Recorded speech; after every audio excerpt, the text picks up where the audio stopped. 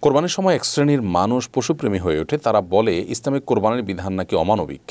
আসলেই কি কোরবানি অমানবিক? ইসলামের পশু জবাইয়ের নীতিমালা কি? কোরআনের জাগতিক উপকারিতা, কোরবানির জাগতিক উপকারিতা সম্পর্কে জানতে চাই। দেখুন, এ বিষয়ে আমরা প্রতি বছরই কথা বলতে হয়। কারণ, ইসলামকে যারা অপছন্দ করে, মুসলমানদের প্রতি যারা বিদ্বেষ লালন করে, এরকম কিছু মানুষ আমাদের সমাজে ভালো সাজবার জন্য তারা নানা মুখরোচক কথা বলে থাকে। মধ্যে থেকে এটি একটি। তবে এটি যে হাস্যকর, সেটি বোঝবার জন্য আসলে পণ্ডিত হওয়ার প্রয়োজন নেই। কারণ এই লোকগুলো কিন্তু বিভিন্ন সময় বার্গার, বিভিন্ন সময় চিকেন ফ্রাই, বিভিন্ন রকম নাগেটস এবং নানা পদের আপনার গোস্তের তৈরি খাবার, বাহারি খাবার কিন্তু তারা খেয়ে থাকেন।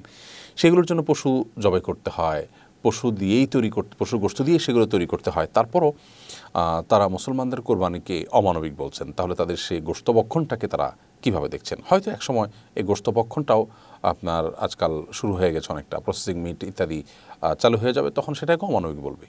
আসলে ইসলামের চাইতে মানবিক আর পৃথিবীর কোনো কোনো জীবন ব্যবস্থার হওয়ার কোনো সুযোগ নেই।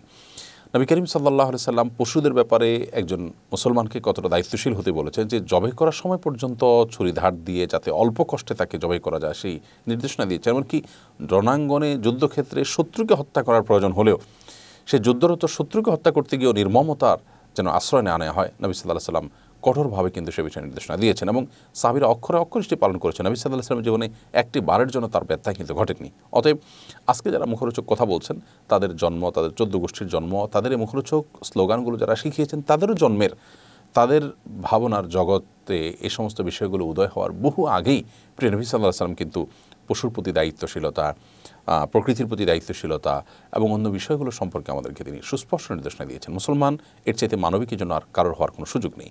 তারা মানবিক শাস্তে পারেন কিন্তু প্রকৃত অর্থে মানবিক নয়।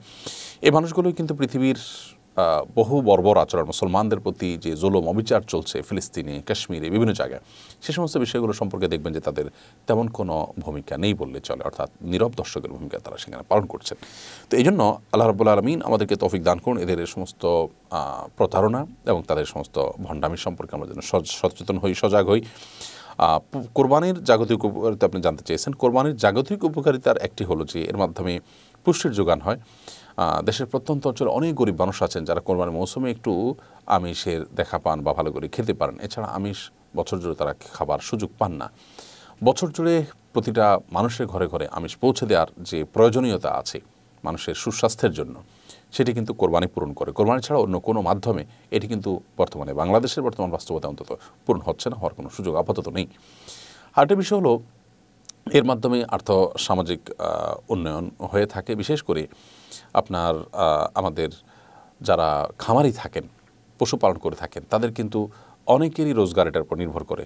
গ্রামাঞ্চলে অনেক দরিদ্র ফ্যামিলি আছে যারা একটা, দুইটা ছাগল কিংবা এক দুটা গরুর বাছুর পেলে সেগুলোকে বড় করে কোরবানির মৌসুমে বিক্রি করে তাদের সংসারের খরচ তারা নির্বাহ করে থাকেন। তার মানে এর মাধ্যমে খামারিদের উপকার হয়ে থাকে, এর মাধ্যমে গরিব মানুষদের পুষ্টির যোগান হয়ে থাকে এবং আরও বহুবিধ উপকারিতা এর মাধ্যমে হয়ে থাকে।